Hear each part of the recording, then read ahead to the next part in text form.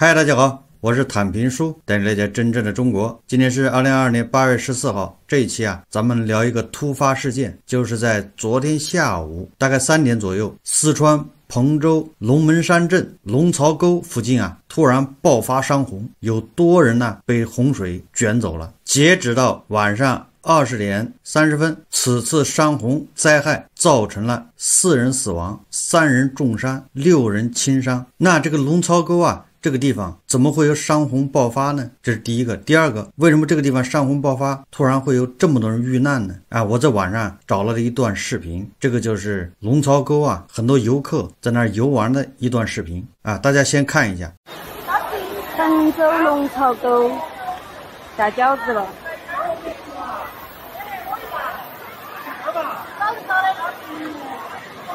感受一下。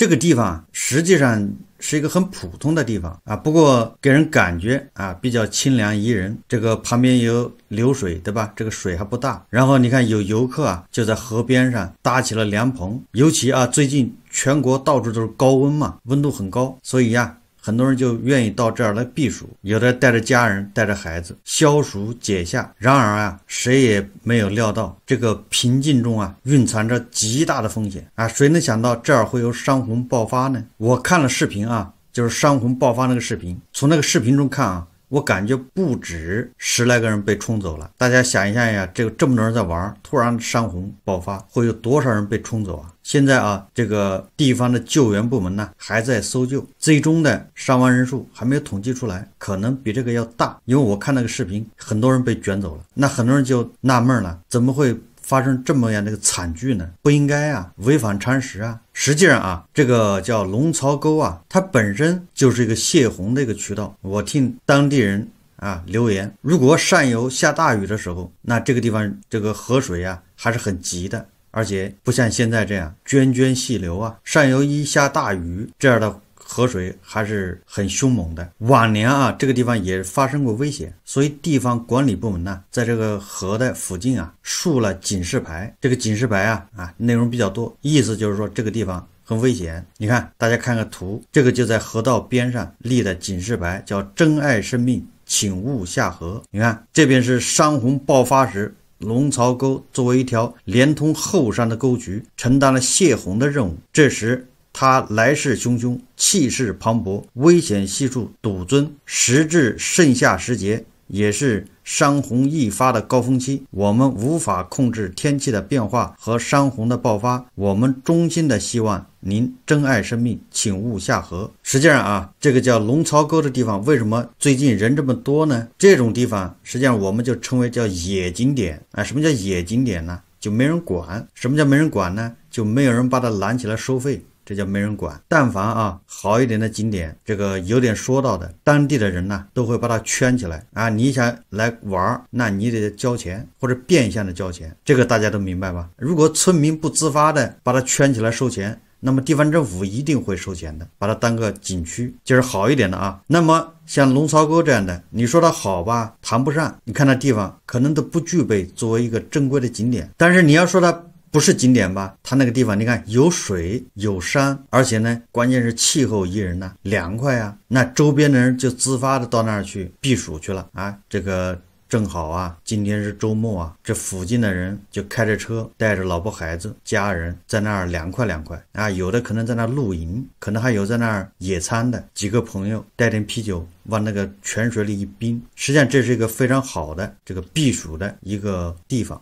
据说啊，这个。龙槽沟两边关键的地方都还用那个铁丝网拦住了，就害怕有人下沟。但是即便这样，还是很多人把那铁丝网扒倒了，到了这个龙槽沟里面。龙槽沟为什么最近这么火呢？就是因为在抖音上面和那个小红书上面有很多人。推荐啊，说这个地方非常不错啊，发现了一个宝藏的这个避暑的地点，关键是免费啊，不要钱。估计那附近停车也好停，你随便往那儿一停，没人管啊。野景点就是这样嘛。结果正好这是个周末，加上天气炎热，就有很多人去了。那个视频显示啊，人非常多，而且就在小河中间也有很多人。结果呢，这个山洪突如其来，悲剧就发生了。但是我想啊，这个官方说法呀，说是上游有暴雨，然后呢，当时啊，气象部门而且还做了预告，然后地方政府啊还派巡逻员、志愿者到这个龙槽沟这一带去把游客劝离，就是告诉他们啊，可能要下暴雨，下暴雨这个地方就很危险，所以啊，把他们劝离，让他们离开这个沟。但是呢，这个劝离显然没有起到效果，就是大家都没有走，大家觉得啊没有危险，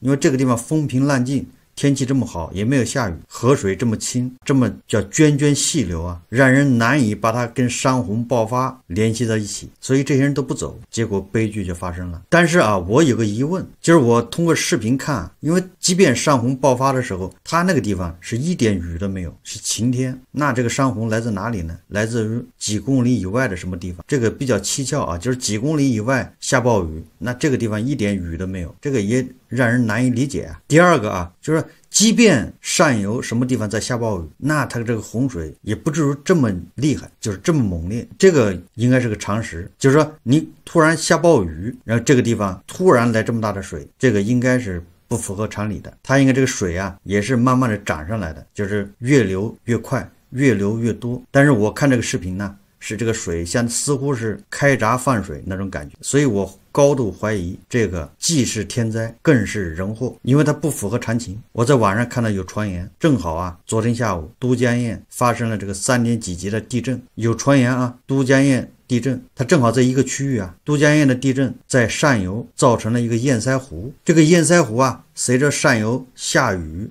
雨水越积越多，这个湖水啊。也越积越多，最后这个堰塞湖啊，相当于破了，泄洪才会造成这个龙槽沟啊这么短时间内巨量的这个水流经过，才酿成了悲剧。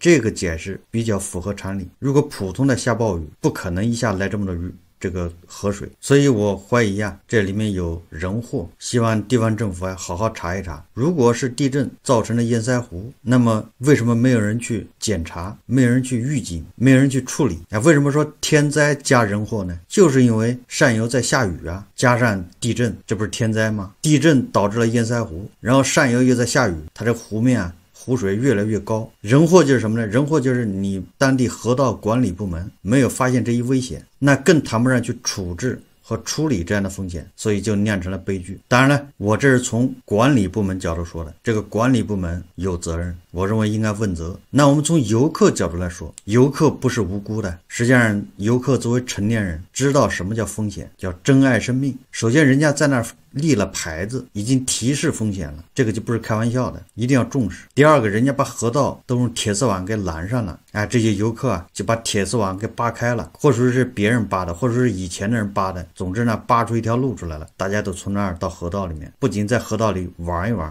而且很多人在那搭帐篷，准备在里面安营扎寨，准备过一晚上。就是这些游客作为一个成年人，没有一点风险意识。关键是啊，当地管理部门还派了人去提醒、劝离，但是这些游客都不听，认为没事。结果你看，几个方面原因综合到一起，就酿成了一个悲剧。多少条鲜活的生命呢？实际上，这个给咱们也敲响了警钟。咱们经常也会去郊游，也会出去玩。我呢，作为一个从小在农村长大的，我对这方面啊比较警惕的。实际上，北京周边啊。有很多地方啊，就像刚才那个龙槽沟一样，甚至比龙槽沟更凉快啊！我还去过这些地方，都是野地方，你就是一般人不知道的。在北京的东边啊，就是平谷那那个山里面，有一些就类似于龙槽沟这样的地方啊。但是人家那个路修得好啊，基础设施很好，都是免费的。然后呢，公路两边啊就有这样的河、小溪，也不叫河。然后呢，你要是夏天进山，那里面特别凉快。你如果三五个好友在那儿搭上帐篷，然后后呢，晚上啊点上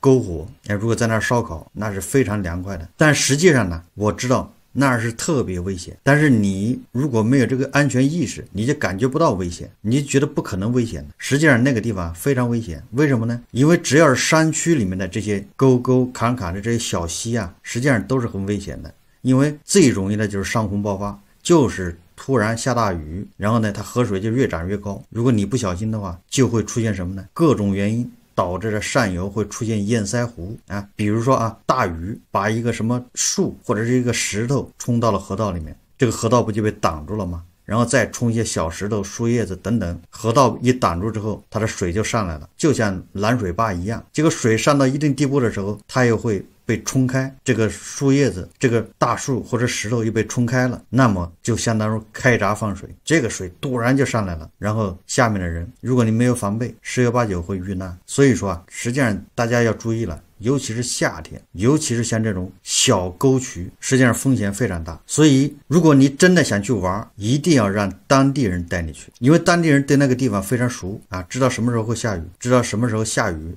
它这地方会出现什么状况？作为咱们，因为毕竟不是专业的什么野外旅游什么爱好者，对野外生存的这种经验技能少的又少啊，非常匮乏。所以最好的办法是找一个当地人带你去玩，这样安全系数啊。高得多，大家可能知道啊，在吉林那个松花江啊，吉林省一个叫松花湖嘛，就是松花江上游的一些松花湖。那个地方前一阵子好像长春一个逃犯呢，就是朝鲜的一个逃犯，不是被抓了吗？在长春的监狱里面吗？然后后来这人就是刑期要满了，他突然又越狱了，不知道大家记得。不记得这个新闻，那个朝鲜的这个逃犯呢，个儿挺小的，他居然越狱了，而且成功了。后来警方就到处搜查呀，找啊，悬赏通缉都没找到。最后在什么地方找到的？我看了那个图啊，大概其就是在松花湖。那个松花湖上面有的小山丘上面有渔民在上面盖的房子。然后也存了一些东西。夏天渔民啊就在那儿打鱼养鱼，冬天渔民就会撤下来啊回家，因为冬天啊没有鱼。那个逃犯不就是冬天嘛？然后逃到这个那些养鱼